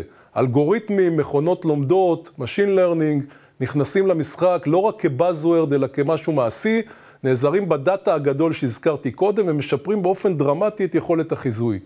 אין לי ספק שאנחנו נחושים להפוך את הנושא הזה ליתרון יחסי חדש שלנו. ה Game Changer השלישי הוא מהפכת הנגישות של הצרכן לאשראי בכל רגע. יותר ספקי אשראי יהיו נגישים דיגיטלית, יכולת הבחירה של הצרכן תשתפר פלאים במקרה הזה. לסיכום, אין אה, ספק שעברנו שנה שהפתיעה הרבה מאוד אנשים. אני יכול להגיד שאצלנו במימון ישיר קיבלנו אינדיקציה חשובה שניהול הסיכונים שלנו עובד מצוין גם בזמן דיסטרס, וההוכחה, אה, וההוכחה הזאת מחמיאה ואומרת שהמצפן שלנו עובד כמו שצריך.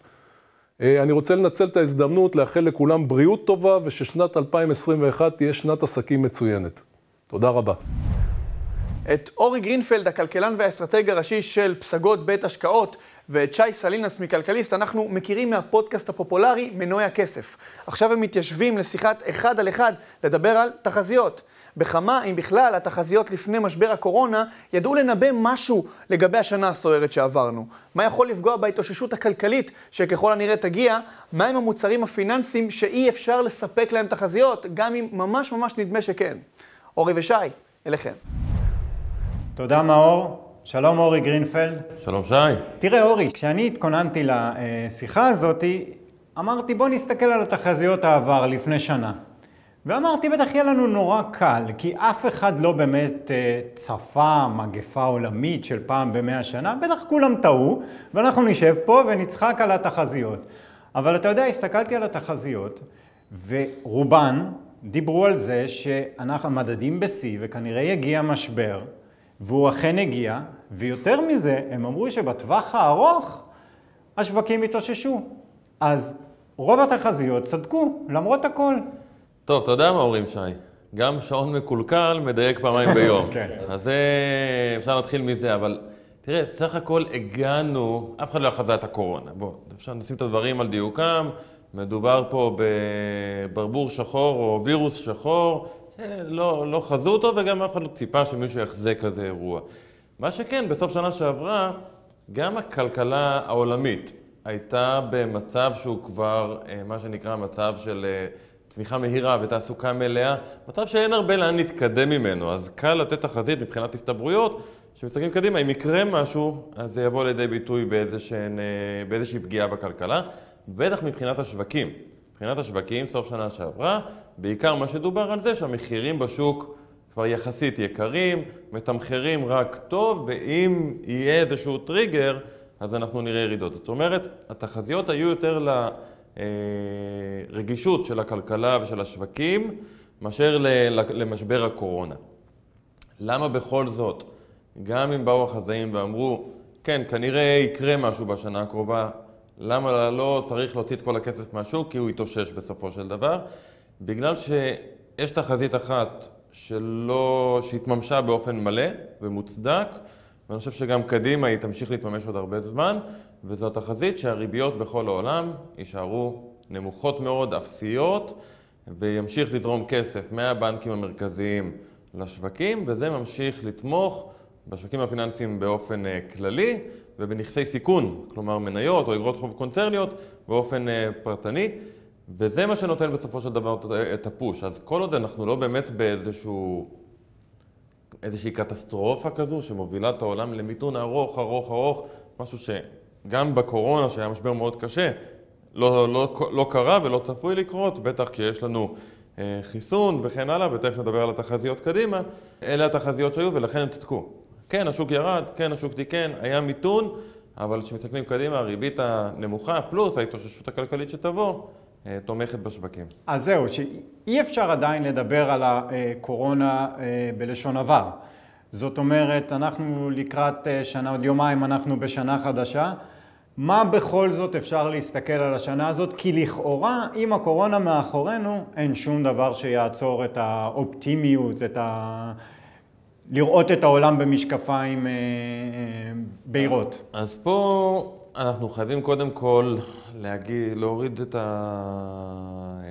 הכובע הזה של חזאים ורואי עתיד וכלכלנים, ולהגיד שגם אם בדרך כלל תחזיות זה משהו שקשה לעשות, בטח, כמו שאומרים, בטח לגבי העתיד, על אחת כמה וכמה בתקופה הזו, כי אי הוודאות היא כל כך גבוהה, ואתה חייב לצייר איזשהו תרחיש שנראה לך תרחיש סביר, ועל פיו לבנות תחזיות. אבל הקשת של התרחישים היא כל כך רחבה, עם תוצאות שיכולות להיות כל כך קיצוניות, שכי לתחזית בסופו של דבר יכולה להיות סטיית תקן שאין לה... בעצם מוציאה את כל המשמעות מהתחזית. אני, מה שאני בא להגיד זה שאם פעם היינו מתכנסים אה, בסוף שנה ומתווכחים, כלכלנים בינם לבין עצמם, האם שנה הבאה הצמיחה תהיה, אני יודע, 2.4 או 2.8, והיה אפשר לעשות ויכוח של שעתיים רק על זה, עכשיו אנחנו יכולים לדבר על, אוקיי, יש חיסון, לאט לאט פורסים אותו בארץ ובעולם, והכל בסדר, ובעוד חצי שנה מהיום כבר הכלכלה נפתחת מחדש וחוזרים לטוס, וזה תרחיש שאולי עדיין נראה היום כתרחיש מרכזי. יכול להיות שזה יקרה אפילו יותר מהר, והקורונה תהיה, אפשר להגיד, אולי אפילו ממש מאחורינו. יכול להיות. יכול להיות גם שיתברר שמוטציה אחת זה לא הסוף.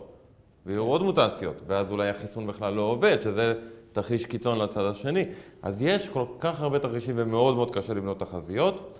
אנחנו כן בסוף רוצים לבנות איזושהי תחזית, ולכן אנחנו לוקחים את התרחיש, גם אם אין לו ודאות, עם ההסתברות הגבוהה ביותר, ואנחנו נוטים לחשוב שזה עדיין התרחיש הזה, מה שהתחלתי ממנו, שהחיסון עובד, לוקח זמן עד שמשתכנעים שהוא עובד, ועד שמספיק אנשים מחוסנים, ועד שפותחים את הכלכלה, וההתאוששות תגיע, והיא תגיע בעיקר במחצית השנייה של 2021. הסיבה שאנחנו נותנים לתרחיש הזה את ההסתברות הגבוהה ביותר כרגע, כי זה הקונצנזוס בקרב אלה שמבינים בתחום. את הרופא... אה, הכלכלנים, בתחום הכלכלה. לא, אני מדבר דווקא על תחום של הווירוס, מבחינת החיסון, המומחים אומרים שהחיסון יעבוד וכן הלאה. אנחנו לא, לא, לא מספיק חכמים לקחת תרחיש אחר כתרחיש הסביר יותר. אם זה התרחיש, אז קודם כל מבחינת הכלכלה העולמית, אנחנו צפויים לראות ב-2021 צמיחה יחסית מהירה, בעיקר בחצי השני של השנה כמובן. אנחנו צפויים לראות ירידה באבטלה, גם בעולם, גם בישראל.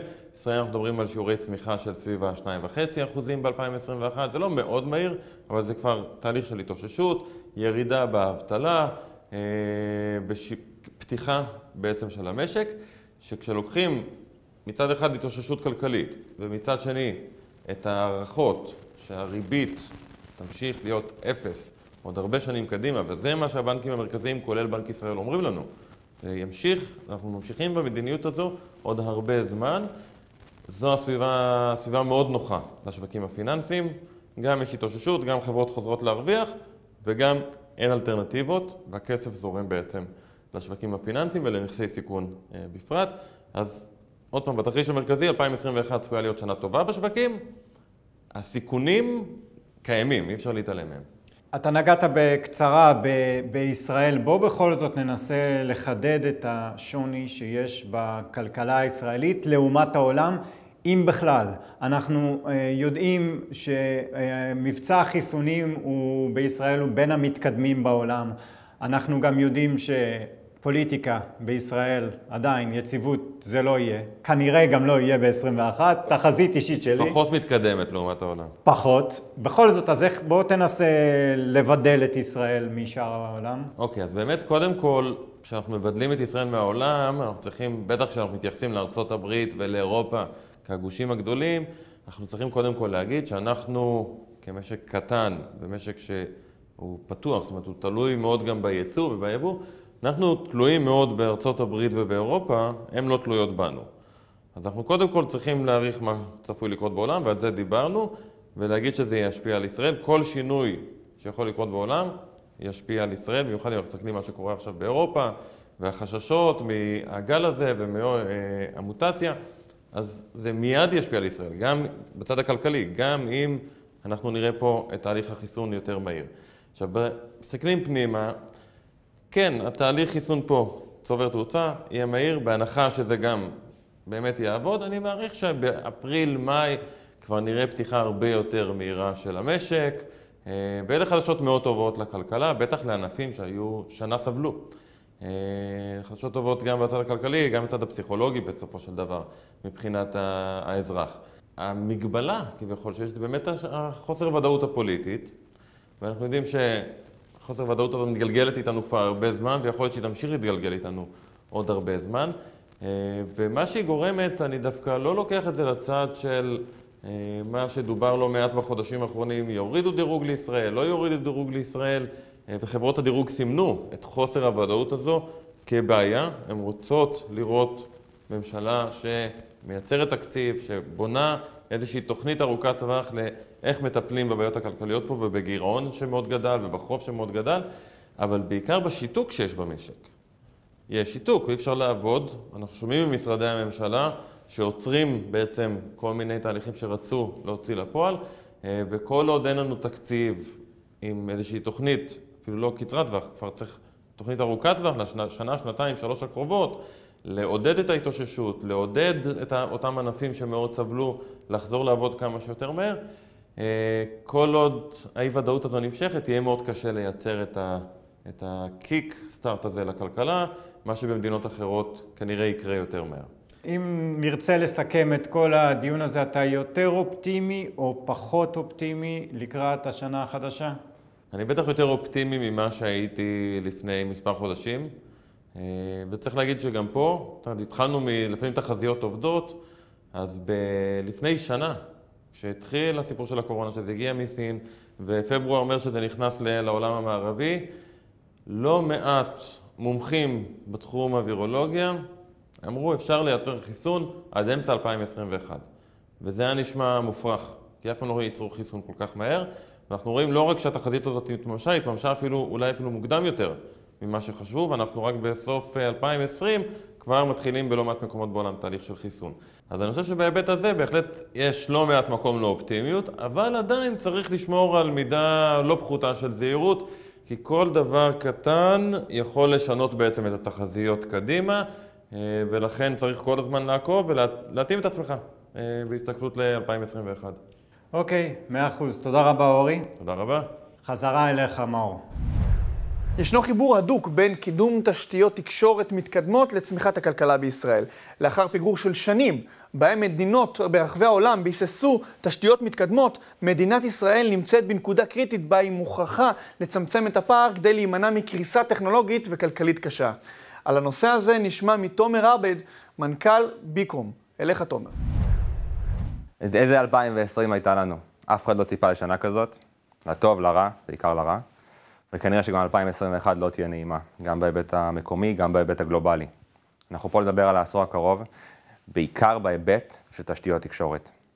אנחנו ה Startup Nation, כל מדינות העולם מסתכלות עלינו, יש לנו את האחוז הכי גבוה של קרנות הון סיכון, האחוז הכי גבוה של סטארט-אפים, אנחנו ממציאים את הגלגל, literally, את ה-USB, את המחשב, פחות או יותר, הקדמה של העולם והעיניים של העולם מופנות לישראל. ולא סתם, אנחנו רואים מרכזי פיתוח של חברות כמו אפל, מייקרוסופט, פייסבוק, אינטל, סיילספורס, כולם מתרכזים בישראל. אבל מה מניע את כל הדבר הזה? תשתיות תקשורת. כל הדבר הזה לא יכול לקרות בלי שיהיה לנו תשתיות תקשורת חזקות. ויש פער עצום בין איפה שישראל נמצאת לאיפה שהעולם נמצא. הנה כמה דוגמאות. תבינו לאן, לאן העולם הולך. בסדר, היום ממוצע המהירות של בתים בעולם הוא פחות או יותר 60 מגה בייט. זה לא רחוק מישראל.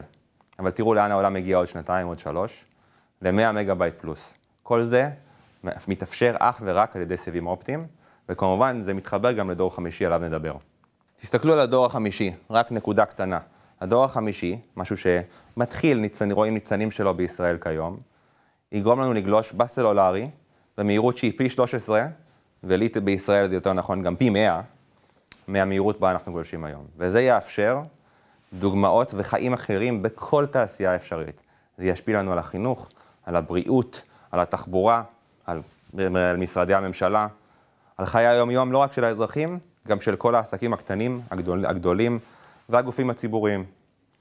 תראו איפה ישראל נמצאת היום לעומת העולם. אנחנו רחוקים מאוד, במרחק עשור אם לא יותר, מאיפה שנמצאות מדינות ה-OECD ומדינות המערביות. אנחנו לא קרובים, זה נכון לשנת 2019, המספר לא רחוק גם ב-2020, כי לא ממש התקדמנו. זה החיבור של בתי אב לסיבים, חמישה אחוז מהמדינה. וכדי להגיע למקום בריא, ולמקום גם שמצדיק ויכול לשמר לא רק את הכלכלה שלנו, כי יש פה בעצם כל הכלכלה וכל התמיכה הזאת של ה Startup Nation וחברות זרות שבאות להקים פה מרכזי פיתוח, ואפשרות לעשות יחסים כלכליים עם מדינות כמו דובאי ואחרות, כל זה מסתמך על תשתיות תקשורת. עכשיו, מה אנחנו צריכים כדי להגיע למדינה מתקדמת ולמה שנקרא לצמצם את הפער, כדי שקטר ההייטק הזה לא ייעצר וירד מהפסים? אנחנו קרובים לשם. אנחנו צריכים חברות תקשורת חדורות מטרה, וזה יש, זה יש לנו. אבל אנחנו צריכים גם רגולציה שתתמוך בנו.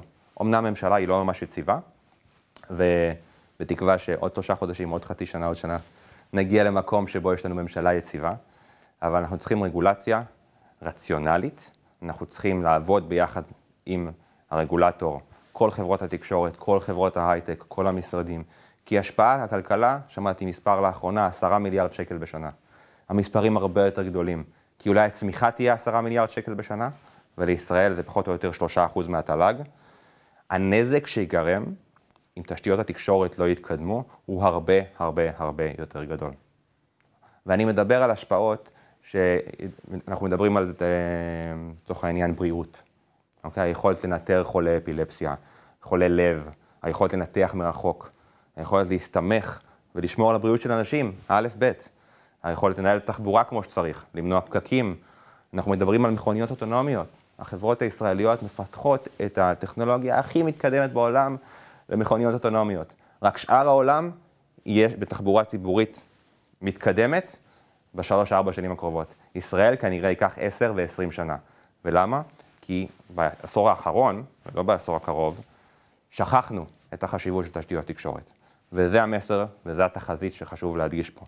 אם לא נשמור על תשתיות תקשורת מתקדמות ולא נעבוד ביחד, כל התעשיות, כדי להבין את האימפקט שיכול להיות לנו על היום-יום, ושוב, על העסקים ועל החינוך ועל כל דבר שאנחנו נוגעים בו. כל אחד מכם נמצא ממוצע של 5-6 שעות בטלפון, באייפון, בסמפטונג שלכם, כל יום.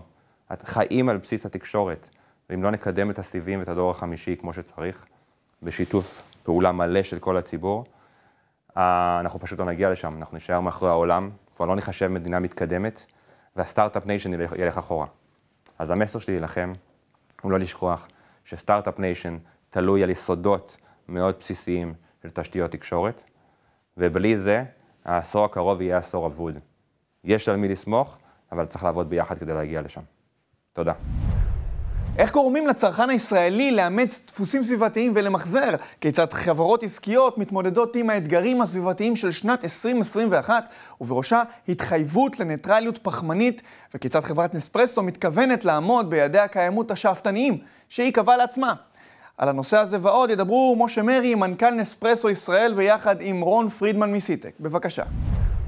תודה רבה מאור, ואנחנו פונים עכשיו ישירות uh, uh, למשה מרי, הוא uh, מנכ"ל נספרסו ישראל. משה, תודה רבה שהצטרפת אלינו בוועדת התחזיות. בשמחה, בוקר טוב. אז אנחנו בעצם מדברים על חברת נספרסו העולמית, שהגדירה לעצמה יעד מאוד שאפתני בכל הנוגע למדרך הפחמן, עד שנת 22, עד סוף שנת 22, בעצם שנתיים מהיום. אה, אה, להיות ניטרלי מבחינת המדרך אה, פחמן. אתה יכול להסביר לנו מה המשמעויות ואיך התקבלה ההחלטה? נכון. אז אנחנו לא מחכים לא ל-2030 ולא ל-2050, ואנחנו נוקטים עכשיו בצעדים משמעותיים.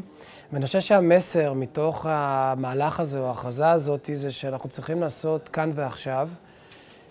אנחנו מבינים שלא שינוי האקלים והתחממות גלובלית לא, לא, לא מחכים, הם לא יכולים לחכות.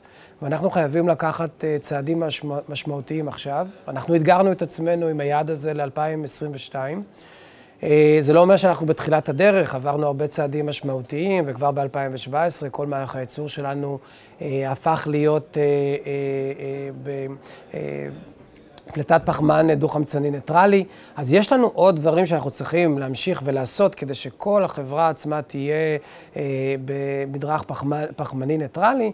ושם אנחנו נתמקד גם בפעילויות של מחזור, גם בפעילויות של אה, אנרגיה מתחדשת וגם בפעילויות ו- ועבודה מול החקלאים, נטיית עצים ועוד הרבה פעילויות אחרות.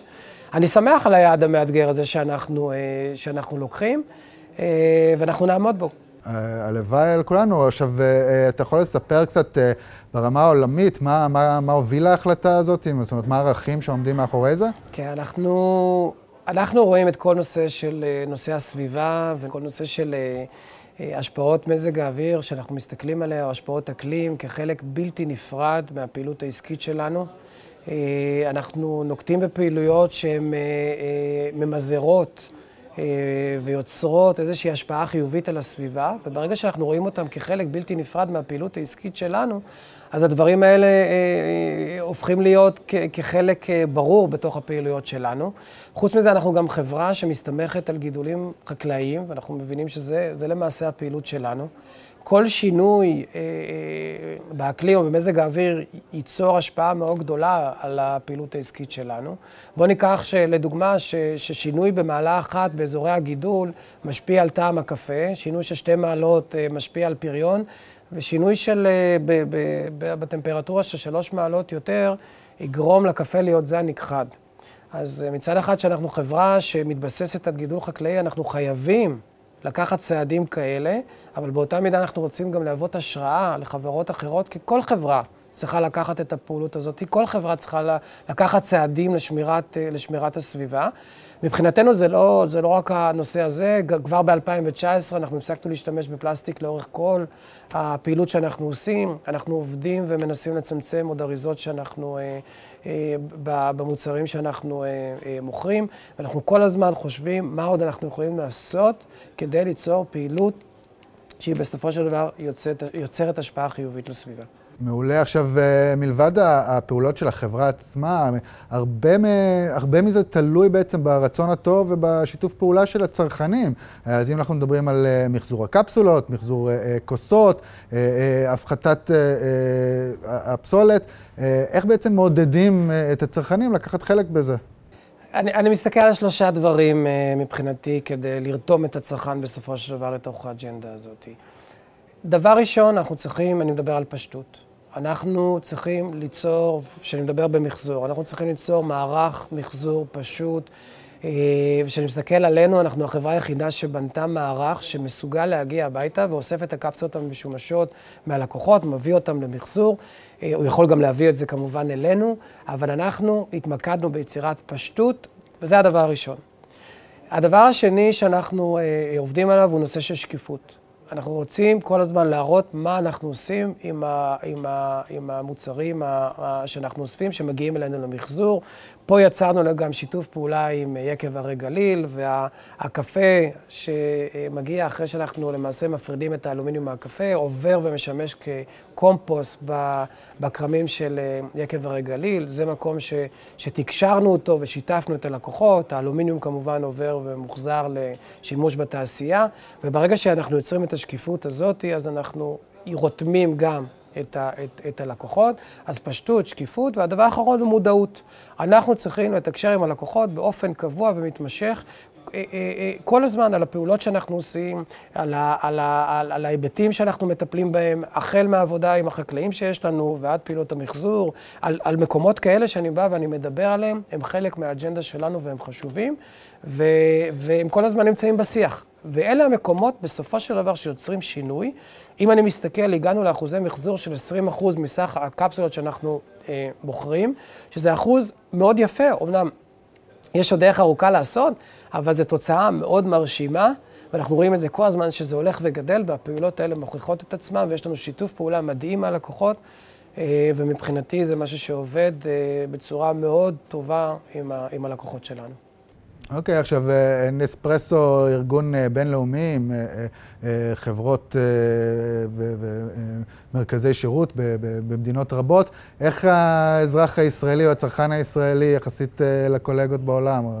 אז מדינת ישראל עולה ביחס למדינות מערביות, אחוזי המחזור בארץ באופן כללי נמוכים יותר, אבל אנחנו מתקדמים בקצב טוב, אנחנו בכיוון הנכון. אה, יש מדינות אה, באירופה שאחוזי המחזור שם גבוהים, אה, אבל אנחנו נמצאים במקום טוב, כמו שציינתי קודם, 20% מהקפסולות שאנחנו מוכרים כבר ממוחזרות. יש לנו יכולת למחזר 100% מהקפסולות שלנו, ואין לי ספק שהמקומות האלה ילכו ו- ויגדלו. ו- ואני מאוד מעריך את המקום שאנחנו נמצאים פה ואת הצרכן הישראלי. אני חושב שהמודעות הולכת וגדלה. ולצרכן יש ציפיות, גם הצרכן הישראלי, שחברות גם כמונו וחברות גלובליות, ינקטו בפעולות שבסופו של דבר אה, יוצרות השפעה חיובית על הסביבה. ויש לו ציפייה כזאת, אז אני חושב שאנחנו בכיוון הנכון. עכשיו, אה, הזכרת אה, לפני זה יעדים ש, שבעצם המדינה הציבה ל-2030, אתם בנספרסו עושים את זה הרבה יותר מוקדם. זה כדאי לכם כלכלית? זאת אומרת, זה, זה, מה, העלויות של זה מבחינתכם, ואיך זה, זה מחושב בתזרים הכלכלי שלכם? כן, okay. קודם כל זה תמיד, אנחנו מסתכלים על זה, זה השקעה. זה השקעה שאנחנו עושים מצד אחד, אבל מצד שני אנחנו צריכים להבין, וכמו ש, שציינתי קודם, זה הפך להיות כחלק אה, בלתי נפרד מהפעילות העסקית שלנו.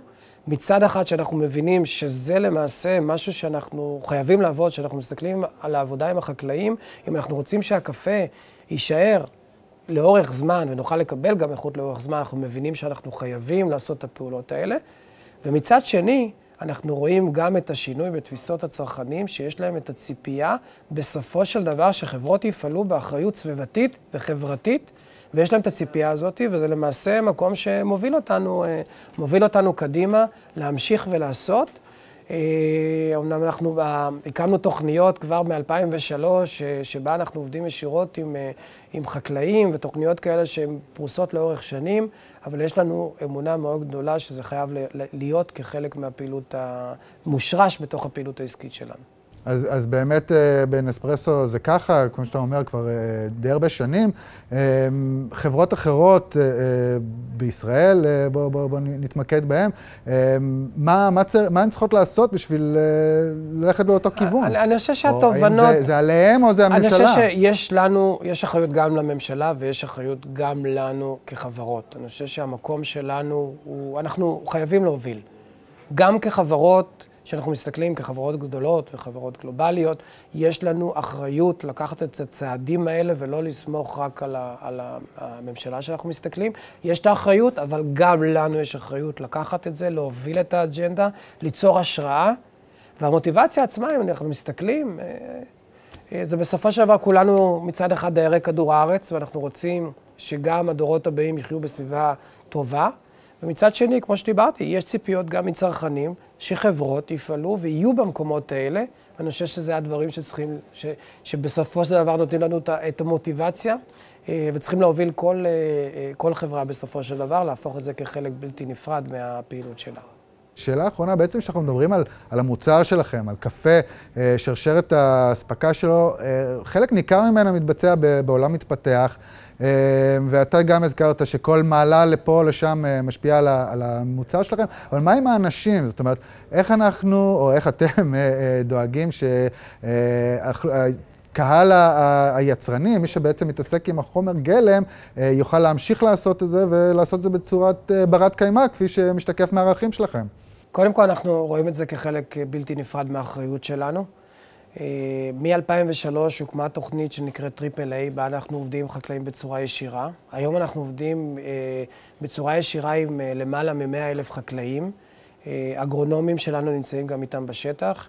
הם עובדים איתם גם בלהדריך אותם איך לגדל את הקפה, איך להשיג תוצאה גם טובה יותר, איך לשמר על הסביבה, על מקורות המים, על עצים, על ציפורים, ובאותה מידה גם איך לנהל בצורה טובה יותר את, ה, את חוות הקפה, איך לנהל טוב יותר את העובדים. מעבר לזה אנחנו גם דואגים להיבטים הקהילתיים שלהם. יש מקומות בהם, ו, ו, ו, וקידמנו גם מקומות שיוכלו לאפשר להם גם פנסיות. ואלה מקומות שאנחנו כל הזמן מסתכלים עליהם, גם על ההיבט, הסביבתי וגם על ההיבט הקהילתי, חברתי. אנחנו רואים את זה כאחריות שלנו, ואנחנו שמה גם מנסים להשפיע בעבודה הישירה שאנחנו עושים עם החקלאים, ואנחנו מצליחים. אני ברמה האישית פגשתי חקלאים כאלה, וראיתי כמה הם שמחים להיות חלק מהתוכנית שלנו. ואת הערך עצמו שזה נותן להם, וזה אה, אה, דבר שאנחנו מסתכלים מתחילת התהליך ועד סופו, שבסופו של דבר אנחנו צריכים לקחת אחריות מלאה עליו. הבנתי. טוב, אה, אה, עושים עבודה אה, חשובה ויפה. משה מרי, מנכ"ל נספרסו ישראל, תודה רבה שהצטרפת אלינו. תודה רבה. אני מחזיר את השידור למאור באולפן. עד כאן יומה הרביעי והאחרון של ועידת התחזיות 2021. אנו שמחים שהייתם איתנו ועקבתם אחרי הנושאים המעניינים ביותר שישפיעו על סדר היום הציבורי כאן בישראל בשנה הבאה. אתם מוזמנים להתעדכן כל העת באתר כלכליסט. עד אז, המון בריאות. להתראות. Thank you.